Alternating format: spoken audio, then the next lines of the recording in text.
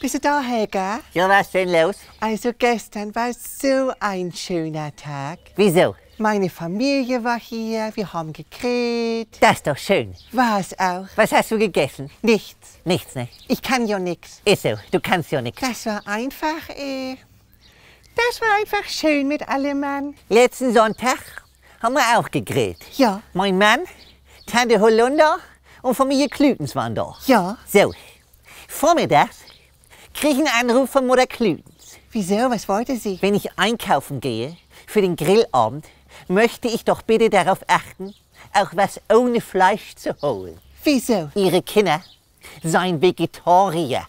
Unglaublich. Ist das nicht unglaublich, Marianne? Ist eine Frechheit. Da lad ich die zum Grillen ein. Wieso eigentlich? Was ja nicht. Passt nicht zu mir. So, du hast sie eingeladen und äh, Ich lad die ein und dann wollen die kein Fleisch essen beim Grillen. unhöflich. Das ist respektlos, Marianne. Es wird immer schlimmer. Geht ja noch weiter. Nee, Das Schlimmste kommt ja noch. hör auf. Bettina Klütens, die Vegetarierin, fragt, ob sie ihren Freund mitbringen darf. Lass mich raten. Ja, Der war mal im Knast. schlimmer.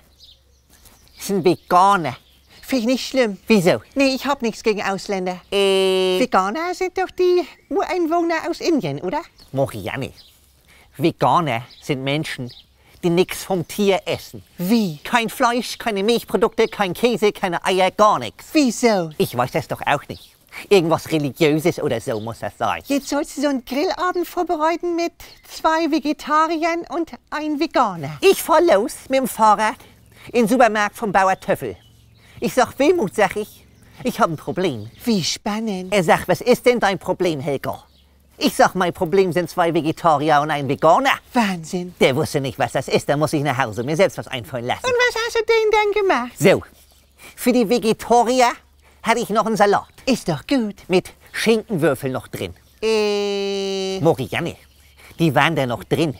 Die pul ich da doch jetzt nicht raus. hätte ich auch nicht gemacht. Ist doch auch respektlos dem Tier gegenüber. Aber haben sie gegessen dann? Nee, weil das tote Tier hat ja schon den Salat berührt. Deswegen können sie das nicht. Wir haben alle ein, eine Krawabbel oder was? Und der Veganer? ja, was willst du da machen? Irgendwas Pflanzliches. Ich gehe in den Garten, da stellt sich mir schon die erste Frage. Nehme ich jetzt einen Teller, um das einzusammeln oder einen Biosack? Ist auch nicht einfach. Habe ich ein bisschen Rasen gemäht, paar Blumen abgepflückt, bisschen Erde mit reingemacht und das Ganze mit Öl verfeinert. Hört sich doch gut an. Ab in Thermomix, Stufe 4, 5 Sekunden verkleinern. Ja. So, und dann war das fertig. Hat's ihm geschmeckt? Hat alles aufgegessen, hat mich selbst gewundert. War der denn, sag ich mal, für einen Veganer normal?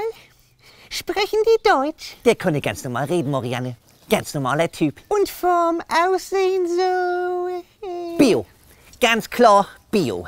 Und barfuß war er. Barfuß? Ja, an beiden Füßen barfuß. Auch was Religiöses, oder? Nun denk doch mal nach, Marianne. Äh, Der ist Veganer.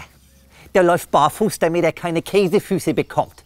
Käse darf er nicht. nehmen die das so ernst? Da sind die ganz, äh, Ziehen die eiskalt durch. da lassen die auch nicht mit sich reden. Aber man hat ja gesehen, geht auch ohne Fleisch. Geht auch mal ohne. Ich esse ja auch weniger. Ich auch. Kaum noch eigentlich. Ist auch besser so. Marianne, ich muss. Mein Mann hat Hunger. Was gibt's denn? Frikadellen mit Currywurst. Kann ich nicht. Aber ist doch Die lecker. Frikadellen, Wieso kannst du das jetzt schon wieder frickern nicht? mir doch immer was die in den Frikadellen und dann ist das von der Schwierigkeit. Oder die Currywurst. Krieg ich Arthrose von. Ja, dann gute Besserung. Dir auch. Muck dat. Muck dat.